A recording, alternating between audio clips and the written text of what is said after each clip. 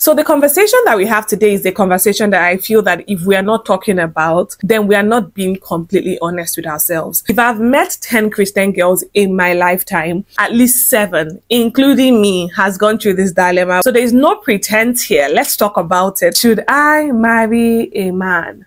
Or what do I do when my boyfriend is less spiritual than I am? Hi guys, welcome back to my channel. My name is Erinma. If you haven't seen this face before, if you're a returning subscriber to my channel, hello, what's up, what's good? Welcome back to my channel as always. So right now, let's have the obvious conversation. Let's talk about this. I'm going to be sharing this story from my perspective. One of the things that crossed my mind when I decided I was going to follow God and just submit myself fully to to following God. One of the things that crossed my mind was, are you even sure you're going to find someone that will marry you with all this your spirit cocoa? And when I say spirit cocoa, spirit cocoa is one of the is the way that in this part of the world, they refer to people that are of people of faith, have decided to follow God, or people that they would theme as being overly religious. So that's what Spirit Coco is. So of course it crossed my mind. I mean, you would have to think about it. If we are honest, you thought about it too if you thought about it, drop it in the comment section. Let, let's start clearing the elephant in the room, right? So you're in a place where you're thinking, would I meet someone that would accept me? Will I meet someone that is willing to, you know, be on this journey with me? Because being a Christian, there's a lot of things involved. The most common people think about is no sex before marriage. But trust me, there are a whole lot of other things that you have to uphold when you're getting into a relationship. And even more so when you get into marriage. There's a lot more than sex before marriage. So because of your convictions as a Christian, one of the worries that I find a lot of Christian girls having is, would I find someone that would go on this journey with me? That I will tell no sex before marriage and the person will be okay with it? That I will tell that I have to be this committed in church and the person will be okay with it? That the person will not think of me as doing too much or the person will not think of me as being um, too Christianese and all of that it crossed my mind. And if it did cross your mind, please drop it in the chat box so I know that I'm not alone. And of course, because most Christian girls want to get married, they want to settle down, they want to have a kingdom marriage. You look around the church and it looks like sometimes you don't find so many of really the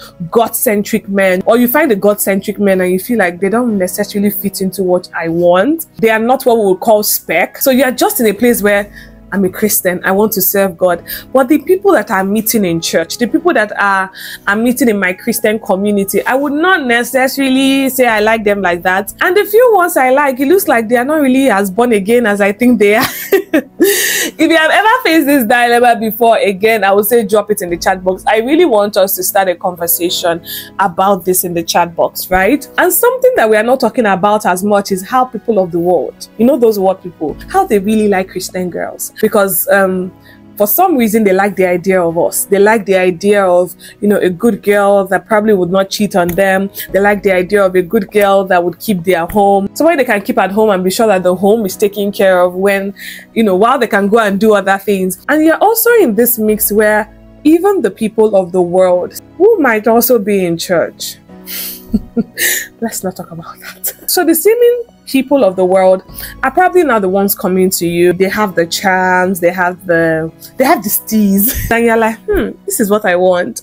But then as you continue with the talking stage or even get into dating, you will now realize that ah, this person this person is really not is not really born again like that you see that there are some you know parts of your conviction that you people do not agree on and you now get to this almighty question should I marry a man?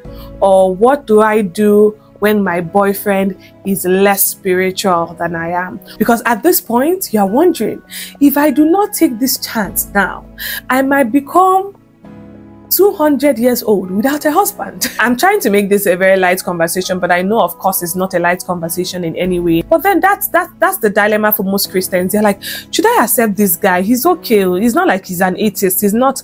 He's not. I won't say he's an unbeliever, but he's less spiritual than I am. I understand some spiritual principles more than he does. Should I just settle down and know that this marriage settlement thing is out of the books for me. Let's talk about it from the scriptural perspective before you settle.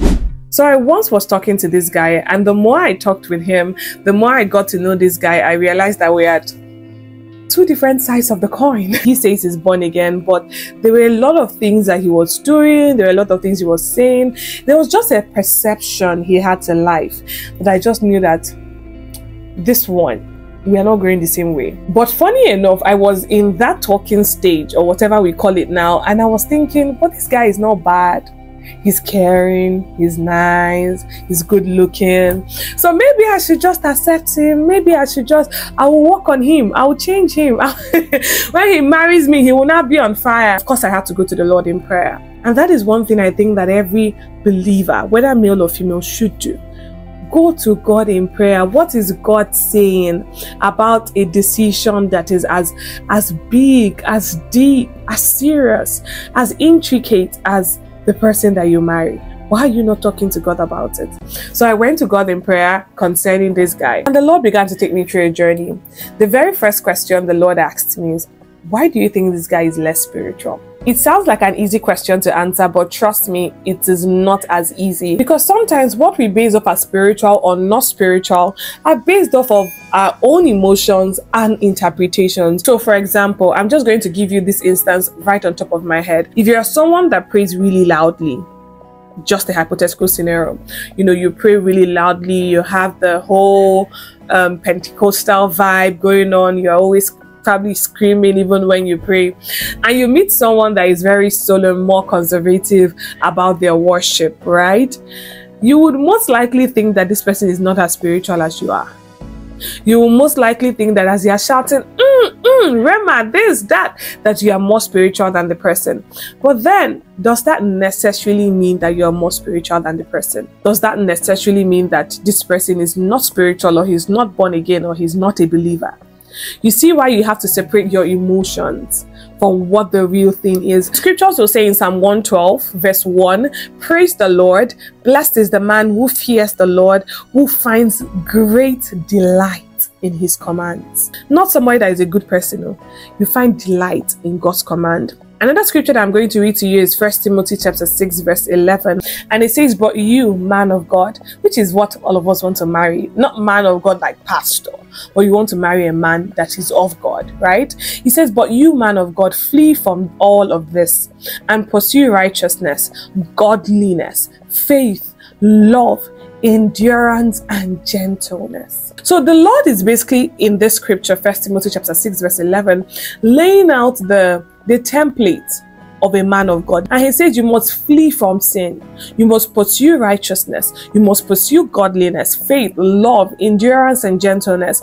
Now, this is the definition of a man that is spiritual, or what I will call a man that is living in faith with God. So, if this man is not living this way, you already know that you cannot be unequally yoked. Because in the real sense of it, there are a lot of people that profess Christ, but they are not born again. And that is not what you want for yourself. You want a man that genuinely delights in God's command. That when God says, don't do this thing, he will not be arguing with you. He will not be telling you, oh, it's like this, it's like that. You know, trying to bring his own maybe personal gain into the word of God to make it fit him that's the person that is spiritual, not necessarily what your emotions tell you. So be honest with yourself. This person that I'm talking to, or this person I'm married to, does he delight in God's command? I am not saying he should be perfect, right? But does he sincerely delight in God's command? Is he intentionally trying to be better, trying to please God with his life, trying to honor God, even with the relationship that he's proposing or you are in with him? So now that we have gotten this out of the way, let's get into the cross of the matter, which is what would you do or what should you do if you're dating someone or you're married to someone that is less spiritual than you are. I'll first of all want us to take the husband part of it out of the game because now that you are married, this is not the channel where you are going to hear about divorce. This is not the channel where you're going to hear, oh, because your husband does not delight in the Lord, stand up and leave him. In fact, in fact, there's a scripture. I'm going to read that scripture to you right now so it's first peter chapter 3 verse 1 and i'm reading the passion translation because i personally love this translation it says be devoted to your own husbands so that even if some of them do not obey the word of God, your kind conduct may win them over without you saying a thing. I mean, even people that marry, you know, people that are spiritual or people that are born again and obeying the Lord, you still have to pray for your husband. So, what you have to do is to pray for him and live a life that he would see and think there's something good here that I want to change or transform into, or that he would hunger to transform into. So that's out of the way now. Let's get into the people that have not entered into covenants, the people that are not, that have not said I do, the people that have not taken vows. Let's get into that conversation. So you plan on getting into a relationship with a man that does not understand the things you understand spiritually, that does not hold the same convictions as you do. While I'm not here to tell you what to do, I'm going to give you my own tiny bit of it. Somebody has to bend somebody is going to bend. There would be a compromise at some point. And because of how you know, the man is placed in leadership over the woman, I'm most tempted to believe that you, the woman, listening to me or watching me, you are going to be the one that will bend. So it's either you begin to shift your convictions about the Lord to accommodate this other person, or this person transforms and becomes, you know, meets you up where you are.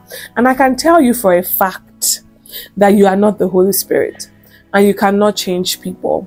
I was once in a talking stage with someone that I knew that we were not at the same wavelength spiritually. And one of the things I realized in that relationship was that if I went on to, you know, even getting into courtship with this person or marrying this person, I would have signed up to perpetually pull this person manually, manually pull this person to the level that I was. I would have found myself in a position where I would have to keep explaining some things. I would explain why we had to tithe. I would explain why I had to be in church. I would explain how I had to serve. I would explain a lot of things to this person. And I'm sure that this person would not get it.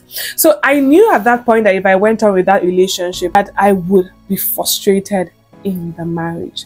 I had to advise myself because when the Bible says that iron sharpens iron, we think is a joke until you are iron and you come in contact with wood. And one of the very first things you will see iron doing when it comes in contact with wood is that it would be able to cut the wood. So if you're a lady at the first instance, because he's trying to impress you, he's going to do some things, he's going to, he's just going to try and be a good person to you. But once you get married to the person, once you continue cutting, the iron continues cutting the wood.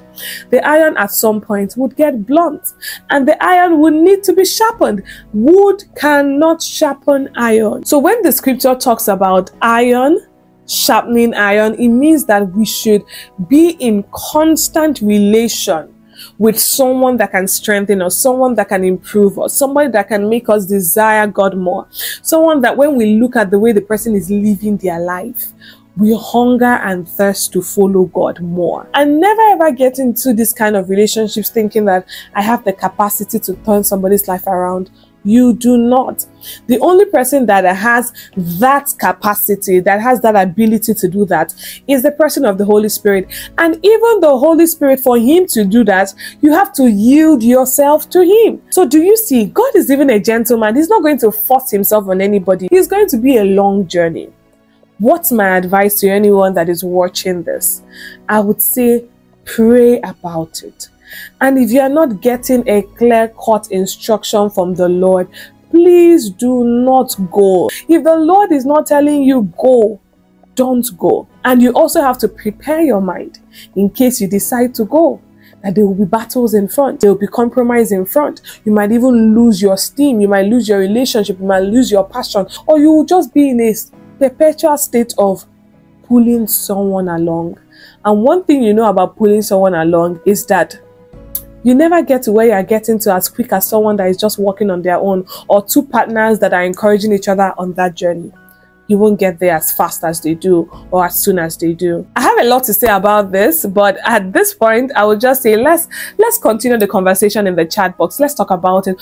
What are your thoughts about it? Do you think that everybody should be on the same spiritual wavelength? Do you think it doesn't matter? Do you think that you would catch up? Do you think that this conversation is even people being over serious? They should just marry husband when they see them. What are your thoughts about this? Let's continue the conversation in the comment section. And if you know anyone that you think might you know enjoy this conversation or might want to engage in this conversation please share this video to them. Give this video a thumbs up. Subscribe to my channel if you're not subscribed.